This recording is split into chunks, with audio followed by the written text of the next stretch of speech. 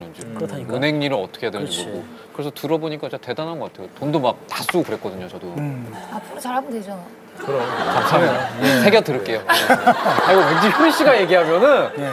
저보다 어린 걸 알잖아요. 근데도 어, 새겨 듣게 되죠. 그럼 새겨 듣게 어, 그럼요. 되고. 내공이 있어요. 음. 예.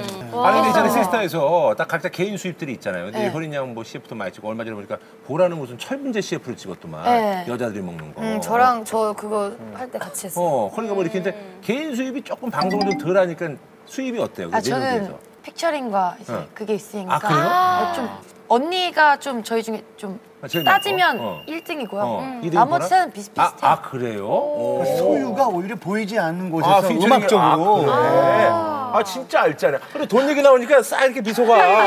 그래. 이번에 제일 크게 보이고 있어요, 지금.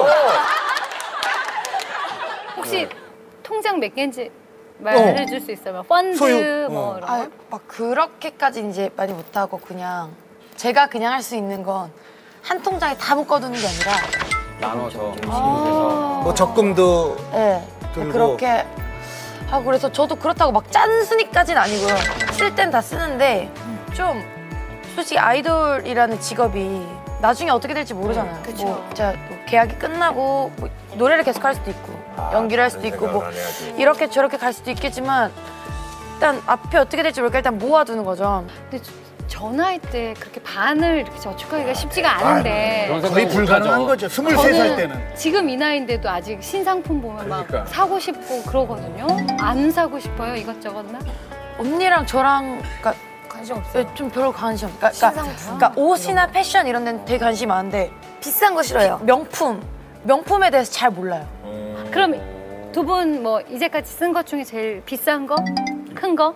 언니랑 저랑 보라 언니 같은 경우는 집을 사드렸어. 부모님한테 같이 보태서 아우, 야, 정말 효자다.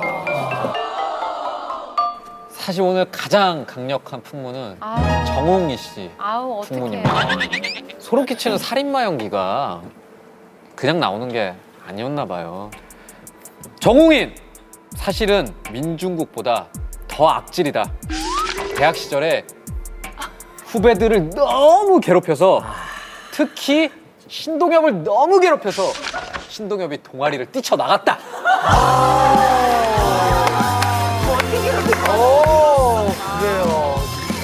이제 올기 왔어요, 드디어. 예. 드디어 왔어.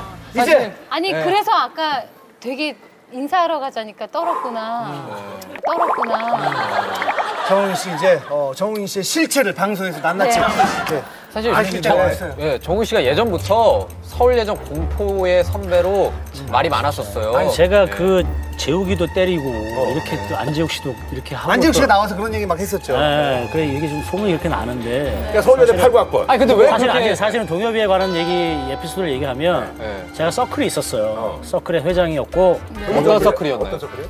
프라나라고 프라나. 그 공연 예술에 필요한 신체 활동을 하는 그러니까 acrobatic, 아, 무용, 신체 훈련 같은 네, 거. 쿵푸 배우고 어. 뮤지컬 활동에 필요로 하는 것들이 다 그런 것들을 배우는 서클이에요. 그런데 왜, 왜 들어갔어? 전혀 안 맞는데. 말씀을 들어봐요. 하나도 안 맞는데 왜 들어갔어? 맞아. 말씀을 들어봐요. 예, 예. 그래서 이제 제가 이제 8학번이니까 9학번 후배가 들어왔어요. 네. 이제 이 모집을 했더니 많이 모였죠. 네. 그러니까 첫날부터 강도 높은 훈련이 뭐냐면 스트레칭이에요. 아 이제, 다리 예, 엉덩이를 이제 벽에 붙이고 찍고 다리를 양쪽으로 양쪽에서 두 명이서 양, 양쪽에서 두 명이서 다리를 벌리는 거예요. 처음에 가자마자 네네. 생짜들 예, 예, 예, 예. 그래서 무릎을 무릎을 눌러주는 사람이 따로 있고 그런 식으로 훈련을 한 며칠 했는데 신동엽 씨가 그걸 받았죠. 아, 거기 왜 들어가? 왜 프라나를? 저는 그때 그러니까 거기 정식으로 뭐 그 동아리에 들어간 것도 아니고 그때 여기는 뭐 하는 동아리인가 저기는 뭐 하는 동아리인가 예. 초반에 예, 예. 궁금해서 그래서 기웃기웃 거리는데 거기에 이제 안재욱 씨가 어 여기 이제 우리가 몸을 만들어야 돼 뭐 이러면서 그래서 나는 뭐 저는 땀 흘리는 걸 이 세상에서 제일 싫어하거든요. 예, 그래가지고 운동을 막 이렇게 격정적으로 하는 것 자체를 싫어하는데 어 여기 뭐지 뭐지 뭐지 하는데 딱 들어가서 첫날 예 이렇게 갑자기 하더니 다리를 이렇게 찢는데 이게 그냥 저는 별명이 90도 클럽이에요. 왜냐면 다리를 벌리면 90도 이상 안 벌어져요. 근데 처음 봤어요. 진짜 진짜 이걸 180도까지 막 여기저기서 소리가 지금 나. 그래서 막 보면서 아니 근데 저는 아 그래서 너무 아파 아파. 어 됐어 됐어. 했는데 계속 밀더라고요 결국 나중에 다 써요. 아 진짜 180도. 다요. 다가